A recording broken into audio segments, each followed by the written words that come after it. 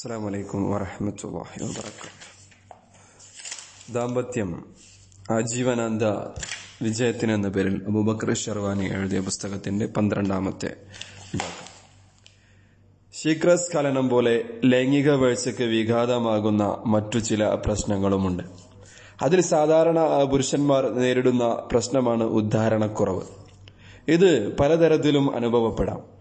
വേണ്ടത്ര വികാര വികാര തീവ്രതയുണ്ടെങ്കിലും വേഴ്ച തുടങ്ങാൻ കഴിയാത്ത വിധം തുടക്കം മുതൽ ലിംഗം ഉദ്ധരിക്കപ്പെടാതിരിക്കാം. ചിലർക്ക് വേഴ്ചയ്ക്കിടെ ഉദ്ധാരണം നഷ്ടപ്പെടാം. ഇതിന് പ്രധാനപ്പെട്ട കാരണം മാനസികമാണ് എന്നാണ് കണ്ടെത്തിയിട്ടുള്ളത്. ലൈംഗികോദ്ധാരണം വലിയ ഒരു അളവോളം മാനസിക പ്രക്രിയയാണ്. ദാമ്പത്യത്തിലെ മനപ്പൊരുത്തമില്ലായ്മ ലൈംഗിക ബന്ധം പരാജയപ്പെടുമോ എന്ന ഭീതി വിഷാദം തുടങ്ങിയവയാണ് ഇവിടെ വില്ലനായി വരിക. പ്രമേഹം അമിത മദ്യപാനം പുകവലി ചിലതരം മരുന്നുകൾ തുടങ്ങിയ ശരീരത്തെ ദുർബലമാക്കുന്ന കാരണങ്ങളാലും ഉദ്ധാരണക്കുറവ് ഉണ്ടാവാറുണ്ട്. വിദഗ്ധരായ വൈദ്യന്മാരുടെ സഹായം കൊണ്ട് ഇത് മാറ്റിയെടുക്കാവുന്നതാണ്. പുരുഷന്മാർക്കുണ്ടാകുന്ന മറ്റൊരു പ്രശ്നമാണ് സ്കലന വിളംബം. അതായത് സ്വയം അറിഞ്ഞോ അറിയാതെയോ ഏർപ്പെടുത്തിയ നിയന്ത്രണം കൊണ്ട് സ്കലനം നടക്കാതെ നീണ്ടുപോകുന്നു. ചില അവസരങ്ങളിലും ഇണക്ക് രതിമൂർച്ച ഘട്ടങ്ങൾ കടന്ന് തളർച്ചയിലേക്ക് വഴുതി വീഴുമ്പോഴും പുരുഷന് രതിമൂർച്ച സംഭവിച്ചിരിക്കില്ല. ഇത് പുരുഷനെ തളർത്താൻ പോന്നവയാണെന്ന് പറയേണ്ടതില്ല. ഇത് മാനസികവും ശാരീരികവുമായ കാരണങ്ങളാൽ സംഭവിക്കാം. ചില മരുന്നുകളും മനഃശാസ്ത്ര തന്ത്രങ്ങളും ഇതിന് ഫലം ചെയ്യുന്നതായി കണ്ടിട്ടുണ്ട്. സ്ത്രീകൾക്ക് ഉണ്ടാകുന്ന മറ്റൊരു ലൈംഗിക വീഴ്ച വ്യതിയാനമാണ് യോനി മരവിപ്പ്. ഉദാഹരണമില്ലാത്ത പുരുഷനെ പോലെ സ്ത്രീക്ക് യൗനി വികസിക്കുകയോ മതജലം സ്രവിക്കുകയോ ചെയ്യില്ല. ഇതെല്ലാം മാറ്റിയെടുക്കാനുള്ള വഴികൾ ഇന്ന് സുലഭമാണ്. അതുകൊണ്ട് അതിലേക്ക് പ്രവേശിക്കുന്നില്ല. പുതുപുത്തൻ സാങ്കേതിക വിദ്യയും അതിനോട് അനുബന്ധിച്ച ജോലിയും മണിയറയിലെ വില്ലന്മാരായി തീർന്നിരിക്കുന്നു. മികച്ച ശമ്പളവും മറ്റു സൗകര്യങ്ങളും പറ്റുന്ന ഐ ടി രംഗത്തും അനുബന്ധ മേഖലകളിലും ജോലി ചെയ്യുന്നവർ അമിതമായ ജോലിഭാരണം ജോലിഭാരം കാരണം കടുത്ത മാനസിക സമ്മർദ്ദത്തിനും ഇതേ തുടർന്നുള്ള ശാരീരിക രോഗങ്ങൾക്കും വിധേയരായിത്തീരുന്നു. പ്രമുഖ മനഃശാസ്ത്രജ്ഞനായ ഒരു ഡോക്ടർ പറയുന്നത് ഇങ്ങനെയാണ്. ഐ ടി രംഗവും മറ്റു അനുബന്ധ ജോലിയും വളരെ കിടമത്സരം നടക്കുന്ന മേഖലയാണ്. അത് അതിനനുസരിച്ച് ജീവനക്കാർക്ക് മാനസിക പിരിമുറുക്കങ്ങളും ഉണ്ടാകുന്നു.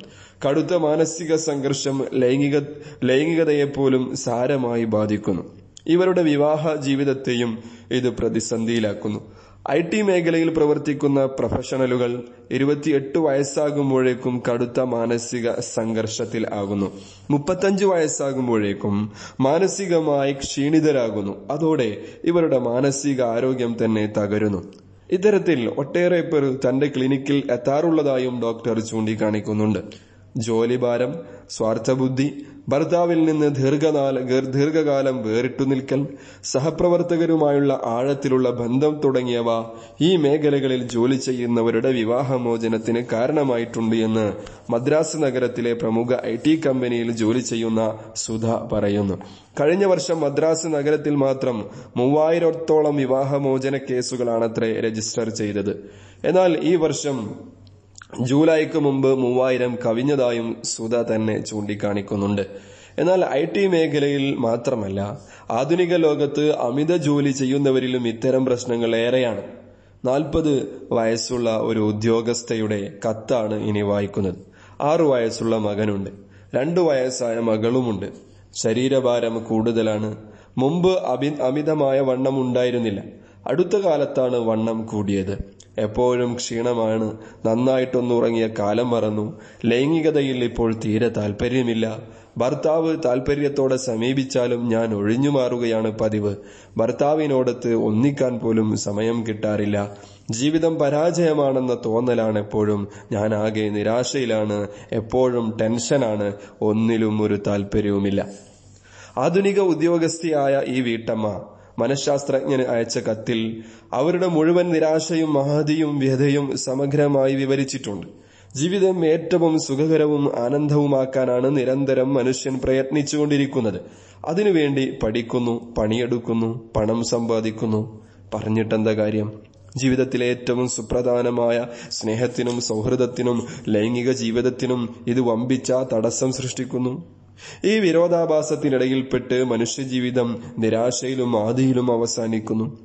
ചുരുക്കത്തിൽ ഇപ്പോൾ ജീവിത രീതിയിൽ വന്ന മാറ്റങ്ങൾ കാരണം ഉറങ്ങാൻ ഉറങ്ങാനുള്ളതടക്കമുള്ള സുഖസൗകര്യങ്ങൾക്ക് ഉറങ്ങുന്നത് അടക്കമുള്ള സുഖസൗകര്യങ്ങൾക്ക് ഭംഗം നേരിടുന്നു.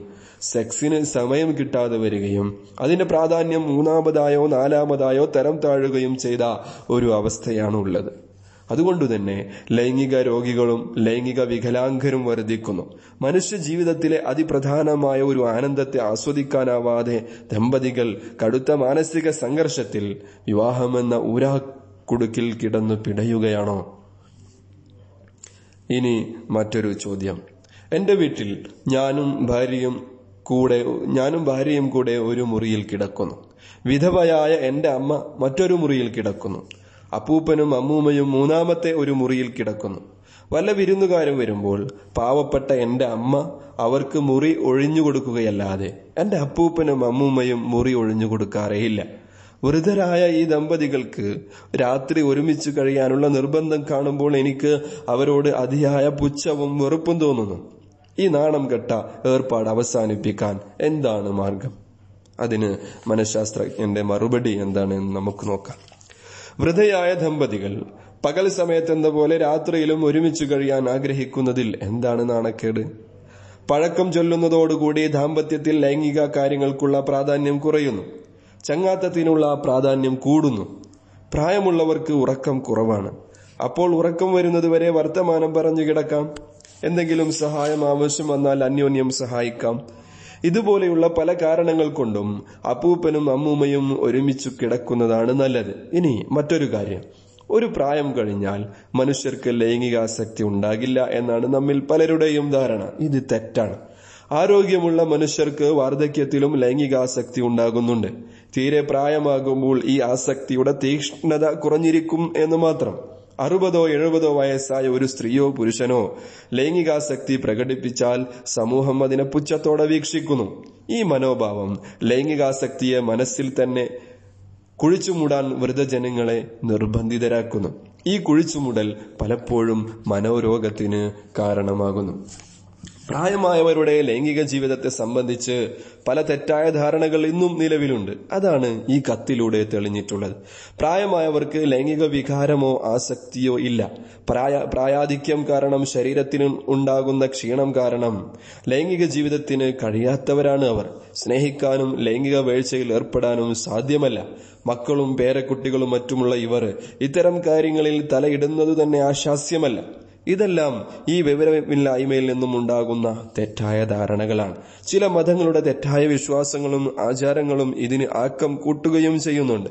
നാൽപ്പത് കഴിഞ്ഞാൽ വാനപ്രസ്ഥത്തിനും സന്യാസത്തിനും പോകണം എന്നാണ് ചിലർ സിദ്ധാന്തിക്കുന്നത്.